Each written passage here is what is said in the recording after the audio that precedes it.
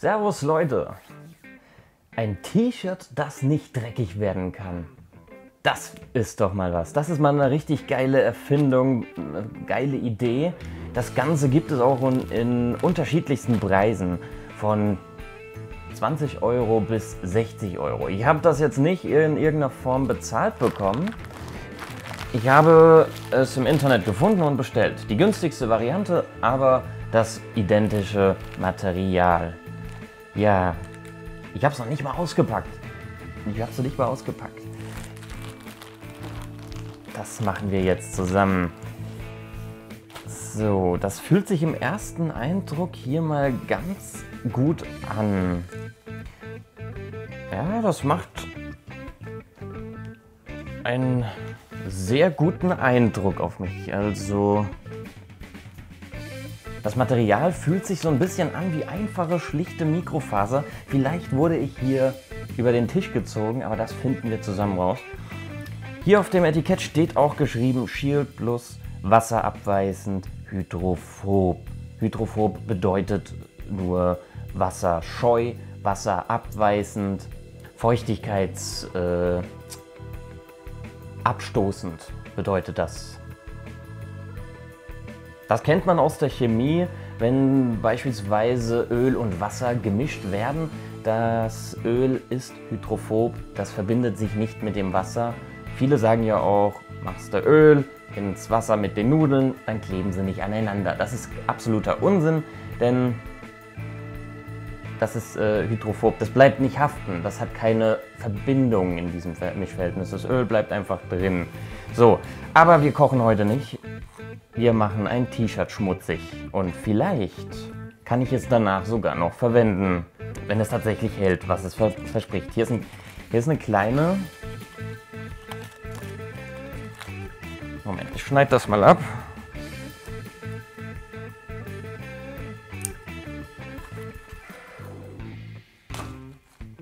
Ganz schön stabil. Also es ist nicht der übliche billige China-Gramm. Was haben wir denn hier? Die Marke heißt übrigens ähm, Beverly. Das sagt mir jetzt übrigens nichts. Ich, äh, ich habe das T-Shirt auch selbst gekauft. Also das, ist jetzt, das ist jetzt keine Werbung. Da ist auch alles auf Chinesisch, also nehme ich mal an, das ist eine chinesische Marke oder, oder eine Fälschung, wie auch immer. So, da wären wir nun. Ich probiere es erstmal an. Mal sehen, ob es mir überhaupt passt. Das wirkt auf den ersten Eindruck auch etwas groß. Vielleicht liegt das nur daran, dass es hier so ausgebreitet da liegt. So, ich probiere es mal an. Ja, also es fühlt sich sehr angenehm an auf der Haut. Es ist ein sehr angenehmer Stoff. Ich weiß natürlich nicht, wie, äh, wie schweißdurchlässig der Stoff ist. Was bedeutet, wenn ich jetzt ins Fitnessstudio gehe, gehe ich dann ein oder nicht? Das äh, könnte sein. Hm. Schwer zu sagen, aber der erste Eindruck ist sehr positiv. Es äh, fühlt sich angenehm an. Es soll übrigens auch Wochen dauern, bis es tatsächlich riecht, wenn man es drauf anlegt. Also angeblich kann man sehr lange das T-Shirt tragen, ohne dass es nach Schweiß riecht. Das soll keine Gerüche annehmen und auch keine Bakterien annehmen. Geht einfach durch sozusagen. Okay, jetzt machen wir es dreckig.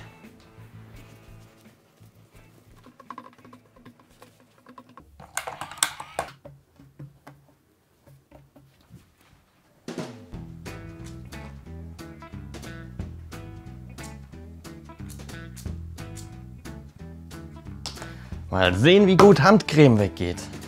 Aber Handcreme ist nur der Anfang.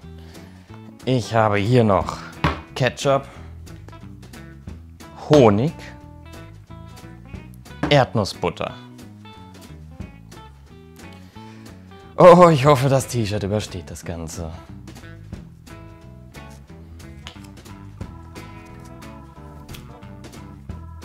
Ah.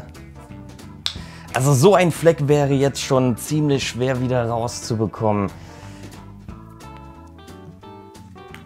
Und angeblich soll es auch einen gewissen Abperleffekt haben. Ich probiere das mal hier aus. Hoffen kann das sehen. Ich hoffe mal.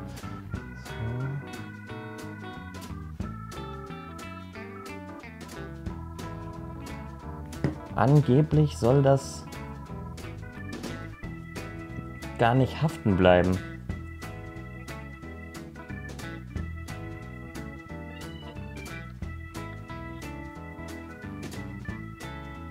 Da merkt man auch, man merkt das, man sieht das hier so ein bisschen.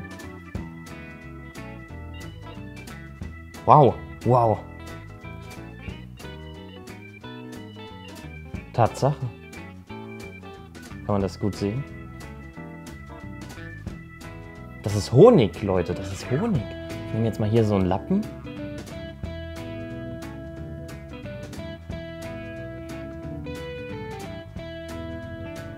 Tatsächlich. Es perlt einfach ab. Das ist Honig.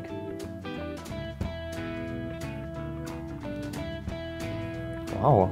Also jetzt muss ich schon sagen, ich bin beeindruckt.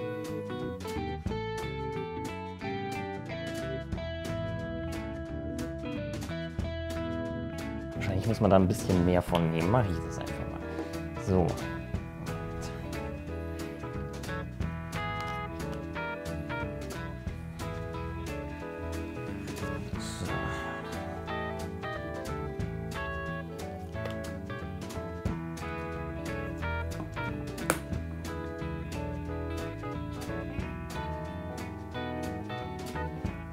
Es hat tatsächlich einen Abperleffekt. Man merkt, dass die, die Flecken, die Stoffe darauf einfach abperlen. Das ist ziemlich cool. Aber das Problem ist, wenn es sich erst einmal mit dem Material vermischt hat, quasi so reiben, dann hat man, glaube ich, keine Chance. Ja.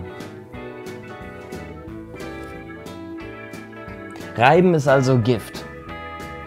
Es perlt ab, man hier sieht, hier ist noch so ein bisschen Honig. Ich mache den mal jetzt so auf meinen Finger. So. so. Da kann man quasi den Schmutzfleck einfach davon abheben. Das geht auch hier mit dem Ketchup. So, und nun die Erdnussbutter. Nehme ich aber nicht so viel.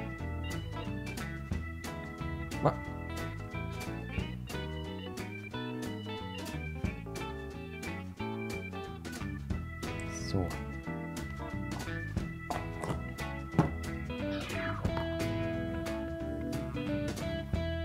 Ah, ist der dreckig.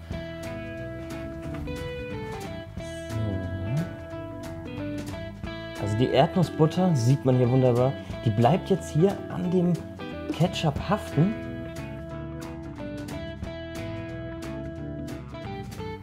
Und rollt drüber. Da sieht man, der Tisch hält. Der Tisch bekommt mehr Ketchup ab. wow. Ich bin beeindruckt. Also ich bin beeindruckt. Ich habe wirklich nicht mit so einem Ergebnis gerechnet. Jetzt versuche ich das ganze Schlamassel hier mal mit einfachem Wasser abzuspülen.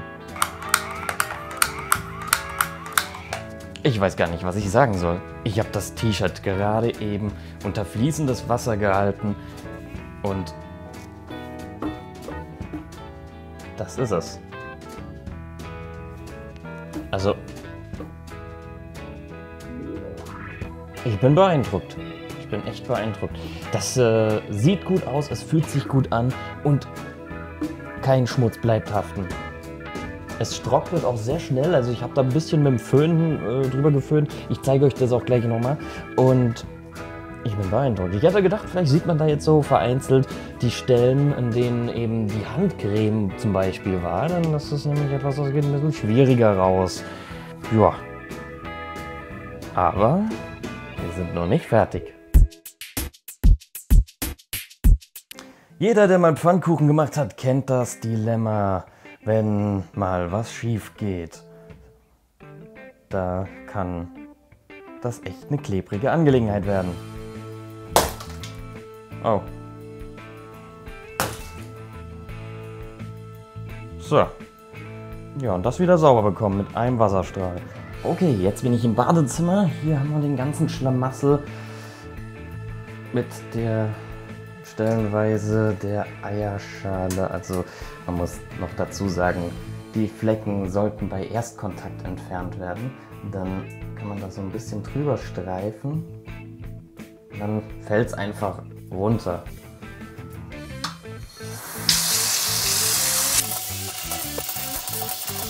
So, da sieht man sehr schön, ich hoffe man kann mich gut hören, wie das einfach abperlt. Perlt einfach ab. So.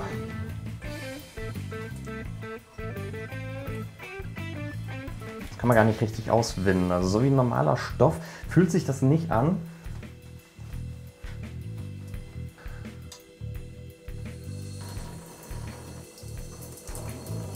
Es perlt einfach ab. Ach ja, da wären wir nun wieder. Das T-Shirt ist noch etwas feucht. Ich habe es nur ganz kurz in die Sonne gelegt und es ist auch schon recht zügig wieder getrocknet. Verhältnismäßig. Ach, ich muss schon sagen, ich bin beeindruckt. Das wird mir eine Freude sein, damit zu kochen. Wenn da was schief geht, ist das kein Problem. Verratet's nicht Keystra. Aber ich werde ihm so eins zu Weihnachten schenken. Ja, was wir noch nicht getestet haben, deswegen steht nämlich hier die Flasche Briel.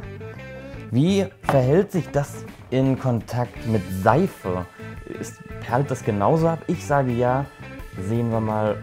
Oh, ich hoffe, dass das keinen Einfluss macht, weil es feucht ist.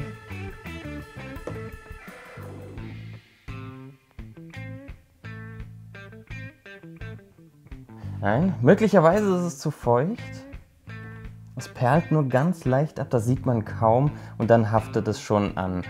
Gut, aber das ist Seife, das geht leicht weg. So. Ich das nochmal. So.